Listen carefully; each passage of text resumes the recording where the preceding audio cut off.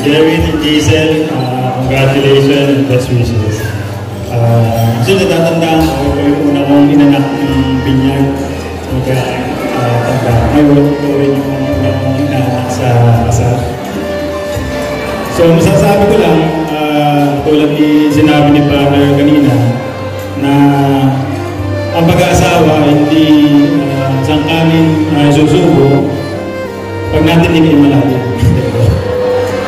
Kaya luluwa pag uh, nakasal. Kasi ang um, kasal isang uh, commitment, lifetime commitment. Eh. So, sabi ni Father kanina na pag ang pinagsama ng Diyos, uh, hindi mapag-iwalay ng tao. So, kung meron kayong, ano ngayon, bago lang kayo, may mga may encounter kayo na maliit na problema, uh, tampuhan, pero sana, huwag niyong palilipasin, huwag kayong matutulog na hindi niya i-resolve o nasusolusyonan para hindi na lumala at uh, lumala.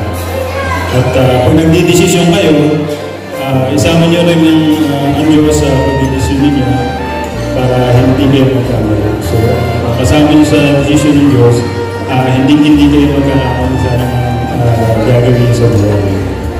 So, nandito lang kami kasama ng mga 24 na pangalawang magulang karoon kayo ng mga problema.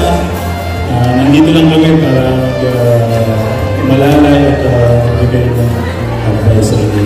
Ang pag-aasawa kasi, give and take lang yan.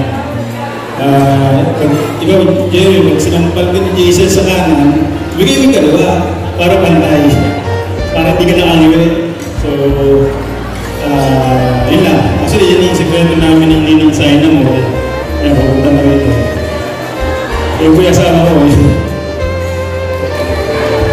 So, good luck sa inyo. At uh, paramihin niyo pa ang lahi ng kalaya.